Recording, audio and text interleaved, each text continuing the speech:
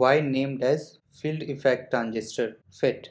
As we know that there are two kinds of transistor BJT and FET. In case of BJT, the input base current controls the output collector current IC as we can see in its IV characteristic. The small change in IB controls the output current IC. So this BJT is a current control device while in case of field effect transistor the output drain current ID is controlled by input gate to source voltage as we can see in this graph the small change in VGS controls the output drain current so we can say that FET is a voltage control device or electric field control device. So by controlling input field effect we can control output drain current. Due to this reason, this device is known as field effect transistor.